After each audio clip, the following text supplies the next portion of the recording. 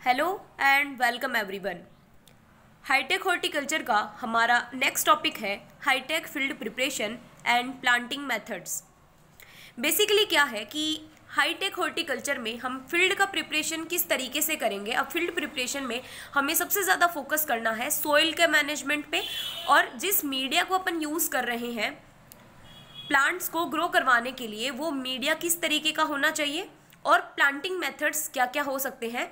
अगर हम उसको एक पर्टिकुलर ग्रीन हाउस स्ट्रक्चर में प्लांट्स को लगा रहे हैं तो किस तरीके से लगाएँगे और बाहर फ़ील्ड में लगा रहे हैं तो किस तरीके से लगाएँगे? तो हाईटेक फ़ील्ड प्रिपरेशन में हम जो सोइल या फिर मीडिया यूज़ कर रहे हैं, वो बेसिकली उसकी फ़िज़िकल और केमिकल प्रॉपर्टीज़ जो हैं, वो एकदम एक्यूरेट होनी चाहिए और वो फ़िज़िकल और केमिकल प्रॉपर्टीज़ जो है, वो नॉर्मल फ़ील्ड सोइल की तुलना में थोड़ी सी डिफरेंट होती हैं। एक अच्छे मीडिया में अच्छी फ़िज़िकल प्रॉपर्टीज़ होनी चाहिए, जैसे कि उसकी वाटर होल्डिंग कैपेसिटी अच्छी होनी चाहिए पोरोसिटी अच्छी होनी चाहिए।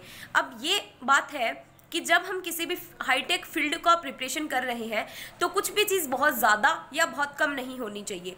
अगर बहुत ज़्यादा वाटर होल्डिंग कैपेसिटी होगी पर्टिकुलर मीडियम की तो क्या होगा? ड्रेनेज प्रॉपर नहीं हो पाएगा। बहुत ज़्यादा पोरोसिटी होगी तो भी जो एरिसन है, वो वाटर मॉलिक्यूल्स के बहुत ज़्यादा इकट्ठे हो जाने के कारण इफ़ेक्ट होगा। तो इसी तरीके से जो मीडियम हम यूज़ कर रहे हैं, वो वेल ड्रेंड होना चाहिए। उसकी अच्छी वाटर होल्डिंग कैपेसिटी होनी चाहिए। जो मीडियम है, वो बहुत ज़्यादा कॉम्पैक्ट नहीं होना चाहिए, क्योंकि अगर वो वो बहुत ज़्यादा कॉम्पैक्ट होगा, बहुत ज़्यादा टाइट होगा तो रूट जो है, वो बहुत ज़्यादा ग्रोथ नहीं कर पाएँगे और रूट जो है, उस मीडियम को पेनिट्रेट करके अपनी ग्रोथ को प्रॉपर तरीके से नहीं कर पाएँगी। बहुत ज़्यादा पोरस मीडियम भी नहीं होना चाहिए। क्योंकि अगर बहुत ज़्यादा पोरस मीडियम हुआ तो उसकी वाटर होल्डिंग कैपेसिटी और न्यूट्रिएंट होल्डिंग कैपेसिटी जो है वो अफेक्ट होगी, जिससे अल्टीमेटली प्लांट की ग्रोथ और डेवलपमेंट के ऊपर इफ़ेक्ट पड़ेगा। अब पर्टिकुलर मीडियम जो है, उसकी पीएच जो है वो बहुत कम भी नहीं होनी चाहिए और बहुत ज़्यादा भी नहीं होनी चाहिए। क्योंकि अगर मीडिया की पीएच कम होगी तो डिफरेंट माइक्रोन्यूट्रिएंट्स जैसे आयरन जिंक मैग्नीज और कॉपर की टॉक्सिसिटी देखने को मिलेगी और अगर ये पीएच जो है वो काफ़ी ज़्यादा हो जाएगी तो माइक्रोन्यूट्रिएंट की डेफिशिएंसी देखने को मिलेगी। इसीलिए एक प्रॉपर जो पीएच आइडियल पीएच है, वो मेंटेन होनी चाहिए, जिस भी मीडिया को हम यूज़ कर रहे हैं। पर फिर भी अगर एक हाई पीएच वाले मीडिया को यूज़ किया जा रहा है तो उसमें डिफरेंट अमेंडमेंट्स डाल के जैसे सल्फ़र और जिप्सम जैसे अमेंडमेंट्स को डालकर हम उसकी पीएच को मेंटेन कर सकते हैं। इसी तरीके से अगर बहुत कम पीएच है तो उसको डिफरेंट अमेंडमेंट जैसे लाइम और डोलोमाइट डालकर उसको बैलेंस किया जा सकता है। इसी तरीके से मीडिया जो पर्टिकुलर हम ले रहे हैं, उसमें कौन कौन से इंग्रेडिएंट्स होने चाहिए, कौन से मिक्स होने चाहिए? जैसे कमर्शियली अवेलेबल जो मीडिया है, जिसकी हमने प्रीवियस लेक्चर्स में भी डिस्कस किया है, कि सबसे ज़्यादा कोकोपिट को और स्फेगनम मोस को यूज़ किया जाता है, क्योंकि इनकी वाटर होल्डिंग कैपेसिटी और पोरोसिटी काफ़ी अच्छी होती है। इसमें बेसिकली वर्मिकुलाइट और परलाइट जैसे सब्सटांसेस को या मीडिया इन्ग्रीडियंट्स को मिक्स किया जाता है। इसके अलावा अवेलेबल मटीरियल्स में हम sand red soil common manure compost rice husk इन सबको भी यूज़ कर सकते हैं।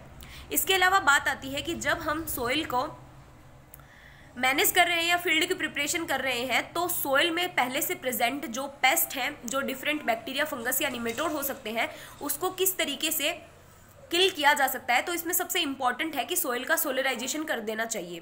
सोइल का सोलराइजेशन का मतलब हुआ कि उसको एक पर्टिकुलर हीट तक गर्म किया जाए सोइल को, या फिर सनलाइट जो है, उसकी प्रजेंस में उसको जब हीटिंग मिलेगी तो ये सारे जो हार्मफुल माइक्रो ऑर्गेनिज्म है, वो किल हो जाएँगे।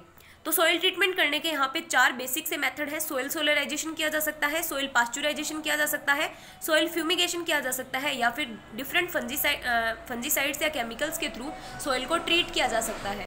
अब हम डिस्कस करते हैं हाईटेक प्लांटिंग मेथड्स कौन से हैं। तो हॉर्टिकल्चरल क्रॉप्स की प्लांटिंग करने के लिए हमें सबसे इंपॉर्टेंट जो बात ध्यान में रखनी है, वो रखनी है कि सोइल जो है वो डिसइंफेक्टेड होनी चाहिए। यानी कि उसमें किसी तरीके के माइक्रो ऑर्गेनिज्म का इन्फेक्शन नहीं होना चाहिए और मीडिया जो है वो हमारा प्योर हो डिसइंफेक्टेड हो। फ़ील्ड पर्पज़ के लिए जब हम यूज़ करेंगे जब हम प्लांट्स को ग्रो करेंगे तो डिफरेंट जो बेड्स हैं क्रॉप्स के अकॉर्डिंग जैसे broad ridge and furrow beds बनाएँगे या फिर फ्लैट बेड या फिर रिंग बेड वो क्रॉप टू क्रॉप की रिक्वायरमेंट के ऊपर डिपेंड करेगा। उसके अलावा वहाँ पर ड्रिप इरीगेशन सिस्टम होगा जिसकी एक पर्टिकुलर लेआउट बनी होगी बनी होनी चाहिए। उसके अलावा प्लास्टिक मल्चेज को यूज़ किया जा, जाना चाहिए जिससे कि जो वीड है उसकी ग्रोथ कम हो और उसके अलावा पानी को भी सेव किया जा सके बहुत ज़्यादा मात्रा में पानी जो है वो वेस्ट ना हो। इसके अलावा mulches bed should be holded at the time of planting planting के समय ही उसको होल्ड किया जाना चाहिए। और जो सीडलिंग्स है, उसकी एक अप्रोप्रिएट फर्टिलाइजर्स और वाटर का एप्लीकेशन करके उसकी जर्मिनेशन को एंश्योर करना चाहिए। जबकि अगर हम प्लांटिंग मेथड की ग्रीन हाउस में बात करें तो रिक्वायर्ड सीड बेड होनी चाहिए उसके लिए। उसके बाद में डिसइनफेक्टेड मीडिया का हम यूज़ करेंगे ग्रीन हाउस पर्पज़ के लिए, अगर हम यूज़ कर रहे हैं, चाहे वो कोकोफिट हो या फिर स्पेगनम मास्क का, जब जो भी यूज़ कर रहे हैं, वही सेम ड्रिप इरीगेशन सिस्टम एक लेआउट में होना चाहिए। और जो भी सीड मटेरियल्स या फिर सीडलिंग्स को यूज़ कर रहे हैं हम, उनको प्री ट्रीट करना चाहिए, ताकि किसी भी डिज़ीज़ का इन्फेस्टेशन जो है, वो प्लांट में ना देखने को मिले।